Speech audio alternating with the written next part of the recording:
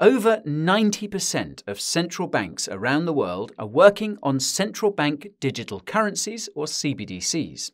CBDCs will make it possible for the government to control how you spend and how much you can save. The prospect of this power has been especially appealing to the European Central Bank, or ECB, and it has been rushing to roll out its digital euro before its inherently unstable monetary union implodes. So today I'm going to summarise a recent progress report about the digital euro published by the ECB, explain what it says in simple terms, and tell you what it means for other CBDCs and cryptocurrency. The progress report I'll be summarising today is titled, quote, Progress on the Investigation Phase of a Digital Euro, Second Report, and it was published by the ECB in late December last year. I'll leave a link to the full document in the description, along with a link to our previous video about the digital euro. Now, the report begins with a bit of background about the digital euro. The authors explain that the ECB has been actively exploring a digital euro since October 2021. This is shortly before the crypto market peaked, which is not a coincidence. The ECB has explicitly stated that it sees stablecoins as competition. The authors then reveal that the ECB has been in active discussion with entities in both the public and private sectors about the development of its digital euro. The authors specify that consultation with the private sector has been happening via the Euro Retail Payments Board, which was founded in 2013. On that note, you should know that there are two types of CBDC wholesale CBDCs, which will be used by select individuals and institutions, and retail CBDCs, which will be used by regular people like you and me. In other words, there will be two CBDC systems, one for the elites and one for everyone else. Naturally, the ECB's progress report pertains to a retail CBDC. Not surprisingly, the authors note that the ECB will, quote, retain full control of digital euro issuance and settlement. What is surprising is that the authors claim the ECB will not be able to see how much digital euro end users hold with intermediaries. This is surprising because the ECB and others have repeatedly stated that privacy will not be possible with CBDCs. However, I suspect that financial intermediaries such as megabanks and asset managers were not fans of this. I reckon they need privacy to continue doing shady stuff behind the scenes. Case in point, the authors clearly state that it will be up to these financial intermediaries to handle all due diligence, KYC, etc. In theory, this means that this information would only be accessible by these financial intermediaries, but in practice, it's possible that the ECB has created a secret privacy loophole. Now, obviously, the absence of privacy in CBDCs is extremely unpopular, and not just with big money managers. It seems the EU's solution to this problem is to allow intermediaries to hold the information, but require them to share it with governments via the Data Governance Act and Data Act. More about those in the description. I digress. The authors reveal that a so called digital euro scheme will be established in partnership with the private sector, which will, quote, establish a set of common rules, standards, and procedures for this setup. They also reveal that this digital euro scheme will start to be drafted in January 2023, which is, well, now. The authors then conclude the introduction with yet another important revelation. Quote, the European Commission intends to propose a regulation to establish a digital euro in the second quarter of 2023 and has started legislative preparations. This means we could see a digital euro live by 2026, even by 2025. Now, the next part of the report references the first Digital Euro Progress Report published by the ECB in September 2022. This first report explained the rationale for introducing a digital euro and its initial design options. What's odd is the ECB apparently did not announce the publication of this earlier report. I take this as a sign that they don't want too many people to read it, which is why I'll take the time to quickly break it down for you here. So, Like the second progress report, the first progress report begins with a bit of background about the digital euro. It talks about lots of the dystopian stuff I mentioned earlier. For example, the authors talk about, quote, limit and remuneration based tools in the design of a digital euro to curb its use as a form of investment. This is code for setting limits on how much digital euro you can hold and introducing negative interest rates that slowly delete your savings to incentivize spending. The authors then revealed that, quote, the body in charge of steering the digital euro project is the High Level Task Force on Central Bank Digital Currency, HLTF CBDC, which is composed of representatives from the ECB and the national central banks of the euro area. First, I've heard of them. And what's strange is I can't seem to find any information about this organisation. That said, they seem to be related to the aforementioned Euro Retail Payments Board, given that they share the same president. However, this infographic suggests they are two separate entities. Typical EU bureaucracy. Anyhow, the authors go on to list the characteristics of the digital euro. They start by saying that the digital euro will not replace cash. This is surprising because the ECB suggested in previous CBDC reports that it wanted to eliminate cash and all other alternatives to ensure adoption of its digital euro. The authors also state that the digital euro is not just an ECB initiative, but a quote, common European project which involves a quote, very diverse set of stakeholders. This reminds me of World Economic Forum founder Klaus Schwab's comments about how the WEF is where such stakeholders gather. More about the WEF in the description. Moving on. The second section of the first report details why a digital euro is required. The authors list off the usual reasons, including digital payments, ensuring that the ECB maintains control of the currency, preventing the EU from falling apart, and peer to peer payments. Two of these reasons are not like the others. The authors also provide this handy infographic, which appears to underscore the idea that the digital euro is meant for the plebs and not for the elites. Outside of the digital euro bubble, you have big business and big tech, and within the bubble, you have small business, the government, and the average person. This ties into the third section of the first report, wherein the authors unpack a few of the possible designs for the digital euro. As you can see, the ECB is not actually a fan of peer to peer payments because it removes the need for intermediaries, and that would be very bad news for the big banks. Instead, the ECB wants most digital euro transactions to involve an intermediary, which means, of course, big banks. I should note that this is something that central banks have lamented. They don't actually want to work with the big banks either, but they don't have the infrastructure to support a payment system. The fact that the central banks need the big banks is probably what gave the latter the leverage to implement some degree of privacy for the digital euro. As it so happens, part of the first report is dedicated to privacy, and the authors start by reiterating that it's the primary concern for users. Quote, in a public consultation conducted by the ECB in 2020, 43% of respondents ranked privacy as the most important aspect of the digital euro, well ahead of other features. Unfortunately, the authors also reiterate that full anonymity is not possible with the digital euro, and not just because of crime. The authors explain that if the digital euro is anonymous, then it would be possible for people to protect their purchasing power by holding lots of CBDC. This is something the ECB doesn't want for, quote, financial stability reasons. As such, the ECB wants a similar level of privacy to existing digital payments. The authors also discuss the possibility of introducing, quote, selective privacy for low value or so called low risk digital euro payments.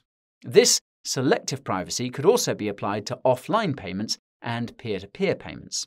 Something tells me the threshold here will be very low. Speculation aside, another subsection in the first report is bluntly titled, quote, tools to control the amount of digital euro in circulation. The authors note that the ECB will pay close attention to financial stability and will ensure that the digital euro is designed to minimize the risks to financial stability. Say, The financial system sounds awfully unstable. Surely it has nothing to do with centralization. In all seriousness, the authors also note that the ECB could set different types of restrictions on different amounts of digital euro holdings to disincentivize excessive saving. Incredibly, the authors admit that it won't be possible to know exactly what effects a digital euro would have on the financial system. To ensure that the ECB can handle all the possible outcomes, the digital euro would be designed so that almost anything can be done with it. This includes limits of offline holdings of digital euros, transferring your digital euros to other institutions, and automatically exchanging your digital euros for other assets. Now, the first progress report concludes with the authors emphasizing that a digital euro may not need to be introduced, and that this will be decided later this year, specifically October. This is yet another surprising opinion pivot. The EU seems to have been dead set on the release of a digital euro. I have a hunch that this sudden change relates to Circle, the issuer of the USDC stablecoin. Circle created a euro stablecoin last year, and it's quite possible that it could act as a de facto CBDC for the European Union. This possibility has been discussed before, and it's something Circle is positioning itself for. More about Circle in the description. Anyways, with all this context in mind, we can return to the second progress report and see what happened between September and December. I'll start by saying that the ECB seems to have accelerated their timeline. This could be a sign that they're rushing or that the digital euro is dead. In any case, the first part of the second report dives deeper into the design options of the digital euro. This is where the ECB's private sector pivot becomes apparent. The authors state, quote, the close involvement of the private sector is seen as a key factor for successful implementation of a digital euro. The authors go as far as acknowledging that the ECB doesn't have the infrastructure or experience to run a payment system. I must stress how unprecedented this is. The ECB has historically been very hostile to the private sector. Heck, they called these intermediaries monopolists just a few months ago. Don't get too excited though, because the authors repeat that the ECB will ultimately have control over the issuance and settlement of the digital euro. They also repeat that the role of these so called supervised intermediaries will be the user facing side apps, websites, wallets, you name it. This is actually a bit peculiar because the EU is in the process of creating its own digital ID wallet. You heard that right, a digital ID with a built in wallet. The EU's digital ID wallet is set to be released in 2024 or 2025, just like the digital IDs in most other countries. More about digital ID in the description. Now, You'll recall that the ECB wants most digital euro transactions to take place with an intermediary, aka a big bank. This intermediation is discussed at length in the next subsection of the second report, and you can see what roles the big banks and the central bank will play in the image here. What's interesting about this image is that it appears the ECB truly won't have oversight of digital euro holders. They will only have oversight of the intermediaries, which will in turn have oversight of holders. But remember, there could be a backdoor here with those data related regulations. What's also interesting is that the way the authors explain this setup suggests that the digital euro will be custodial. This means that it will technically be the bank you use which holds your digital euros and not you. They also suggest that transactions within the same bank will be faster, as is the case today. What's even more interesting is that the processing of offline transactions will require, quote, secure elements in hardware devices possessed by end users. This begs the question of whether the EU will mandate this kind of hardware on all devices sold on the continent and what other stuff it could do.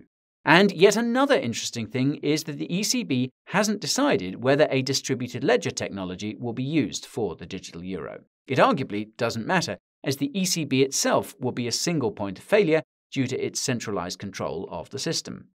There will always be a real risk of failure with such a setup.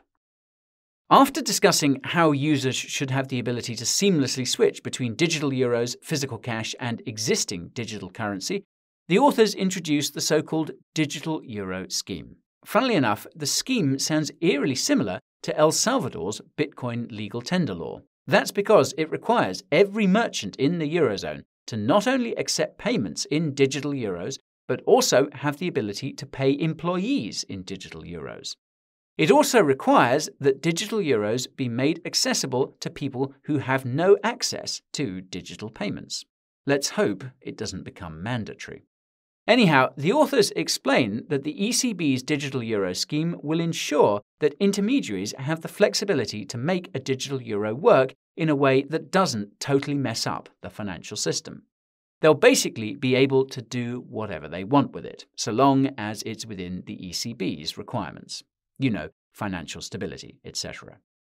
This relates to the final section of the second report, and that's the next steps the ECB will take. The authors reveal that for the remainder of the investigation phase, the focus will be on programmability, cross border payments, and the distribution of the digital euro. This includes things like user onboarding.